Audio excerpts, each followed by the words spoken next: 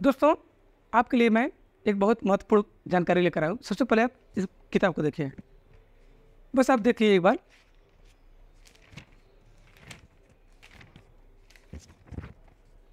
आपको क्या लग रहा है, ये किताब कितनी बार पढ़ा गया होगा? तो दोस्तों, इस किताब को लगभग मैंने तीन से चार बार पूरा कंप्लीट किया है। तो आप क्या करें, इसी पे हम बात करेंगे। तो नमस्कार दोस्तों, स्वागत है आपका हमारे एक नए वीडियो में। आज की वीडियो में हम बात करेंगे यूपी पुलिस कांस्टेबल के लिए बेस्ट बुक। तो बेस्ट बुक की बात की जाए तो सबका सेक्शन अलग अलग है। जैसे जीएस के लिए कौन सी किताब ये अलग, रीजनिंग के लिए अलग, हिंदी, मैथ अलग। तो दोस्तों, सारी पुस्तकों के बारे में हम विस्तृत चर्चा करेंगे। तो वीडियो को बिना स्किप किए लास्ट तक बने रहिए, क्योंकि आज की वीडियो में जो मेरे द्वारा जानकारी दी जाएगी, शायद ही किसी ने बताया होगा। और स्मार्ट स्टडी और हार्ड वर्क दोनों के बारे में हम बात करेंगे कि कैसे मैंने स्मार्ट वर्क से स्टडी करके पाँच एग्ज़ाम निकाला है, UPSI P R P F constable P constable S C G D constable और यूपी पुलिस जो आपके सामने है। और फिर कैसे हुआ? इसके बारे में भी मेरे डिस्क्रिप्शन में जाके आप पढ़ सकते हैं। जैसे ए पी में मैं फाइनल मेरिट में बाहर हुआ था आई टी बी पी में भी फाइनल मेरिट में आर पी एफ़ के कांस्टेबल में हाई जंप में बाहर हुआ। तो S S C G D selected और यूपी पुलिस कांस्टेबल सिलेक्टेड तो दोस्तों, ये रही मेरी चर्चा। लेकिन अब बात की जाए कि आप कैसे पढ़ाई करें। हार्ड वर्क करें या स्मार्ट वर्क तो हार्ड वर्क के लिए अलग स्ट्रैटेजी स्मार्ट वर्क के लिए अलग स्ट्रैटेजी है। तो दोस्तों, पहले तो आप हार्ड वर्क करिए। हार्ड वर्क करने के बाद ही स्मार्ट वर्क हो पाता है। तो पहले उनमें बात, चर्चा होगी बाद में। आज हम बात करें केवल बेस्ट बुक के बारे में। तो जीएस के लिए सबसे बेस्ट है लुसेंट इसकी हालत तो आपको पता ही हो गया होगा, देख के ही लग रहा होगा। तो लुसेंट है। ये आपके पास हो, बहुत अच्छी बात है। ये अगर नहीं है तो ये होना चाहिए। एन सी आर टी सार संग्रह। चूँकि अब पैटर्न चेंज हो गया है दोस्तों अब मैक्सिमम एग्ज़ाम में ये सी आर टी पैटर्न से क्वेश्चन आ रहे हैं। तो आप एन सी आर भी पढ़ेंगे, तभी फ़ायदा है। चूँकि लुसेंट जो है, ये भी N C R T based रही है तो इसको भी पढ़ सकते हैं। इसको भी, इन दोनों में से किसी एक पुस्तक को ही फॉलो करना, दोनों नहीं। हाँ इसके साथ क्या फॉलो करना है, उसके बारे में बात करेंगे। तो दोस्तों, इसके साथ आपको फॉलो करना है सबसे इंपॉर्टेंट लुसेंट का ऑब्जेक्टिव ये मोस्ट इंपॉर्टेंट है। इसको अगर फॉलो नहीं करेंगे तो चलिए आपका नुकसान हो सकता है, क्योंकि इसमें देखिए ऑब्जेक्टिव है। मान लीजिए आप सिंधु घाटी सभ्यता पढ़ लिए लुसेंट से या फिर एन सी आर संग्रह से उसके बाद आप इसमें प्रैक्टिस कर सकते हैं। सिंधु घाटी सभ्यता के अलावा डेढ़ सौ से दो सौ क्वेश्चन इसमें दिए हैं। आप उसको देख के प्रैक्टिस कर लेंगे। संविधान सभा अगर पढ़ रहे हैं, संविधान सभा लुसेंट से पढ़ लीजिए डिस्क्रिप्टिव में। उसके बाद यहाँ आके आप उसका क्वेश्चन देख सकते हैं, उसको लगा सकते हैं, आप प्रैक्टिस कर सकते हैं। तो दोस्तों जी के लिए मात्र दो पुस्तक। आप लुसेंट एन सी इन दोनों में से किसी एक पुस्तक को फॉलो करिए। उसके बाद आप फॉलो करिए लुसेंट की ऑब्जेक्टिव जो पुस्तक आती है उसको। इससे आपका क्या होगा दोस्तों? आप पढ़ेंगे, उसको प्रैक्टिस करेंगे तो आपको लगेगा खुद कि हाँ कुछ ना कुछ आपको आ रहा है। जो नहीं आएगा, उस क्वेश्चन को आप अलग कापी में नोट कर लीजिए। हाँ एक ध्यान रखिएगा कि कभी कभी आप बहुत देखे होंगे कि जो लड़के ऑब्जेक्टिव बुक लिए रहते हैं, उसी में अंडरलाइन करने लगते हैं। ये गलती नहीं करना है। आपको लुसेंट की या फिर किसी भी पुस्तक के ऑब्जेक्टिव में आपको अंडरलाइन उसमें लिखना पढ़ना नहीं है। हाँ अगर लिखना है तो आप डिस्क्रिप्टिव जैसे मेरे द्वारा आप देखे होंगे लुसेंट की पुस्तक में मैंने कई बार पढ़ा है, कई बार लिखा है उसमें इधर उधर सब कुछ किया है तो उस तरह से कर सकते हैं। आप लेकिन ऑब्जेक्टिव में कभी भी आपको लगाना नहीं है। नहीं तो दोबारा जब पढ़ेंगे तो आपको ऐसा पहले से ही पता चल जाएगा तो दोबारा पढ़ने में मज़ा नहीं आएगा। तो जीएस के लिए इतने हो गए। अगर आप यूपी स्पेशल की बात करें तो यूपी स्पेशल के लिए दोस्तों, सबसे अच्छी है पुस्तक परीक्षावाड़ी। इसमें आप इसमें आप ऑब्जेक्टिव क्वेश्चन भी लगा सकते हैं और इसका सबसे बड़ा खासियत ये है कि इसमें जनगणना भी है और नगरीय है। तो इसको पढ़ेंगे तो आपको U P S I U P P C S R O R O सब में ये काम देगा। तो अगर आपके पास पर्याप्त टाइम है और आप यू पी पुलिस कांस्टेबल के अलावा और किसी एग्ज़ाम की भी तैयारी कर रहे हैं तो आप परीक्षा वाड़ी ले सकते हैं, अन्यथा आप इसको छोड़ सकते हैं, अगर कांस्टेबल के लिए केवल देना है तो। अब बात की जाए रीजनिंग के लिए।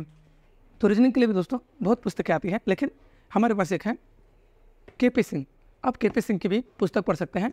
इसके अलावा अरिहंत की भी पुस्तक आती है पीयूष वर्षाने की भी पुस्तक आती है, इसको फॉलो कर सकते हैं। लेकिन स्मार्ट स्टडी अगर करना है तो आप पुस्तक तो ले लीजिए, ठीक है, कोई दिक्कत नहीं। लेकिन आप पहले प्रीवियस से क्वेश्चन डाउनलोड करिए, उसको लगाना स्टार्ट करिए, फिर देखिए किस सब्जेक्ट के आपके क्वेश्चन नहीं लग रहे हैं और उसको आप फिर किताब से लगाइए। जैसे ब्लड रिलेशन मतलब रक्त संबंध, इससे क्वेश्चन अगर आपके फंस रहे हैं मतलब नहीं आ रहा है आपको तो आप पुनः आइए ब्लड रिलेशन के इसमें चैप्टर पे। उसके बाद यहाँ से जितने भी टॉपिक दिए हैं, उसको लगाना स्टार्ट करेंगे तो आपको बेसिक क्लियर हो जाएगा। उसके बाद लुप्त संख्या ज्ञात करना हुआ कोडिंग डिकोडिंग हुआ तो इस तरह के जितने भी चैप्टर हैं, कैलेंडर, घड़ी, पासा घन घना तो जो भी चैप्टर हैं, आप पहले ऑनलाइन देखिए यूट्यूब पे देखिए, अगर नहीं समझ में आ रहा है, उसके बाद आप पुस्तक से लगाएँगे तो आपका ज़्यादा क्लियर हो जाएगा। तो रीजनिंग की भी बात हो गई, पीयूष वर्षा ने के पी सिंह अरिहंत तो तमाम पुस्तकें हैं, आपको कोई एक पुस्तक फॉलो करना है, ज़्यादा पुस्तकें नहीं। फिर अगर हम बात करें, हिंदी की बात बाद में करेंगे, मैथ की बात अगर करें तो मैथ के लिए एस डी यादव, राकेश यादव, उसके बाद कई ऐसे टीचर हैं, जो अपनी मैथ की पुस्तक लॉन्च करते हैं, ऐसे आर डब्ल्यू की भी देखेंगे। तो रोज़गार वित्त अंकित वाले भी अपना पुस्तक लाए हैं। आप चाहें तो उस पुस्तक को भी फॉलो कर सकते हैं। लेकिन दोस्तों, अगर मैथ की बात की जाए तो मैथ मेरे पास है एस डी यादव की। तो अगर आप चाहें तो एस डी यादव की किताब से भी पढ़ सकते हैं। इस तरह की अपनी है इतनी मोटी। लेकिन अगर आप इसको उठाएँगे और कांस्टेबल की एग्ज़ाम देने जा रहे हैं तो मैं तो ये कहूँगा कि आप इसको स्किप कर दीजिए। मैथ पूरा स्किप कर दीजिए। मैथ कैसे पढ़ना है, इसके बारे में बात करते हैं। दोस्तों मैथ के लिए सबसे बेस्ट स्ट्रेटजी ये है कि आप पिछले साल क्वेश्चन लगाना स्टार्ट कर दीजिए। मतलब कुछ पढ़िए बात। मैथ के बारे में आप जान लीजिए ज़ीरो पूरा क्वेश्चन उठाइए। देखिए कौन कौन से क्वेश्चन लग रहे हैं। उन्नीस क्वेश्चन आए हैं। आप उस उन्नीस में देखिए क्या आप दो चार लग रहे हैं। अगर दो तीन क्वेश्चन आपके लग जा रहे हैं तो जान लीजिए हाँ ठीक है, अभी भी आप संघर्ष करेंगे तो आपके दस से ऊपर क्वेश्चन सही हो जाएँगे। उस पर आप देख लीजिए किस टॉपिक से क्वेश्चन आता है। लाभान परसेंटेज एवरेज अनुपात, समानुपात, साझेदारी बोट स्ट्रीम तो कई क्वेश्चन आते हैं। तो आप उसको देखिए। उसके बाद यूट्यूब पे आप सर्च करिए। UP police constable math practice set इस तरह से आप लगभग यूट्यूब पे बहुत वीडियो मिल जाएँगे। आप 40 से 50 प्रैक्टिस से लगा लीजिए, एक एक घंटे का। तो आपका मैथ 19 में से 19 भी सही हो सकता है। कोई डरने वाली बात नहीं होती है। बहुत लोग ऐसे, मेरे वीडियो में भी कमेंट आया है कि मुझे मैथ नहीं आता है तो क्या करें? तो दोस्तों मैथ के एकदम डरना नहीं है। मैथ का आप पिछले साल में प्रैक्टिस केवल लगा लीजिए। उसके बाद यूट्यूब से प्रैक्टिस करिए। किसी किताब की ज़रूरत भी नहीं है। आप यूट्यूब से प्रैक्टिस करेंगे तो कॉन्सेप्ट क्लियर होता चला जाएगा। उस टॉपिक को अगर जो नहीं समझ में आया उसको याद कर लीजिए। क्योंकि एग्ज़ाम देना है। एग्ज़ाम अगर क्वालिफाई हो गया, उसके बाद आपको किसी को तो पढ़ाना है नहीं कि ठीक है, आप पढ़ाएँगे किसी को जाके। एग्ज़ाम से मतलब है सिलेक्ट होने से मतलब है।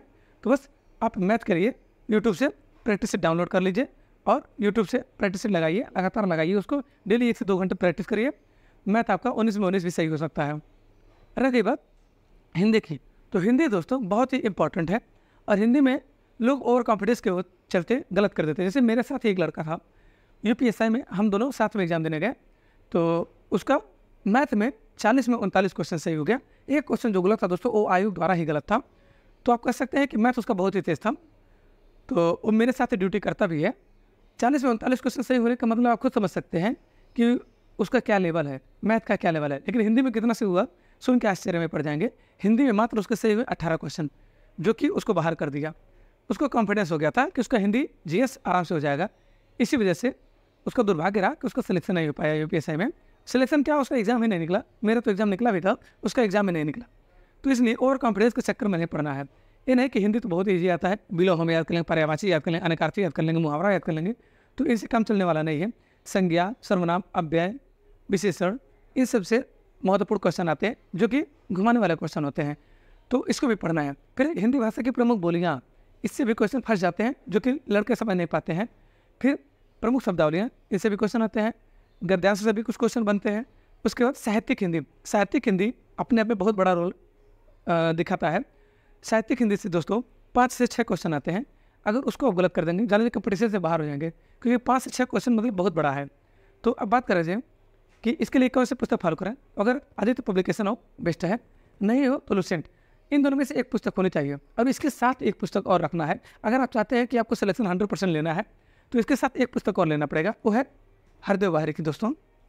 ये है पुस्तक हरदेव बाहरी इसमें आपको इतने ज़्यादा विलोप पर्यावाची अनेकार्थी सब कुछ मिल जाएँगे कि इससे बाहर आपके आने के चांसेस ही नहीं हैं। मतलब इसमें आप देखेंगे तो पर्यावाची हम बता दे रहे हैं कि कितने पर्यावाची हैं। दोस्तों, अगर पर्यावाची की बात की जाए, दो हज़ार पैंतीस पर्यावाची हैं। ठीक है बाबू? मतलब दो हज़ार पैंतीस पर्यावाची इस पुस्तक में आपको मिल जाएँगे। तो आप खुद कल्पना कर सकते हैं। आदित्य पब्लिकेशन में आपको लगभग डेढ़ सौ से दो सौ क्वेश्चन या फिर ढाई सौ क्वेश्चन पर्यावाची होंगे। तो आप खुद सोचिए कि हरदेव बाहरी ऐसी पुस्तक है कि आपको उसका सारा सार मिल जाएगा। आप लुसेंट आदित्य में से किसी एक को फॉलो करिए।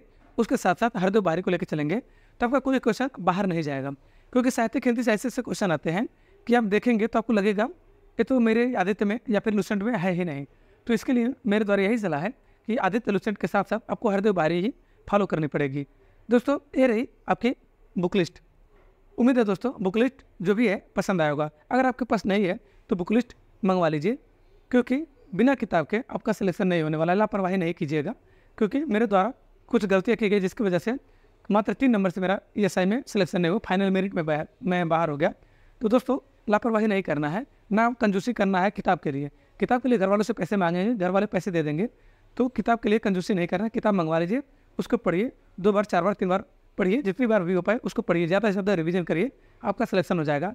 बहुत बहुत मेरी तरफ़ से शुभकामनाएँ। जय हिंद, जय भारत।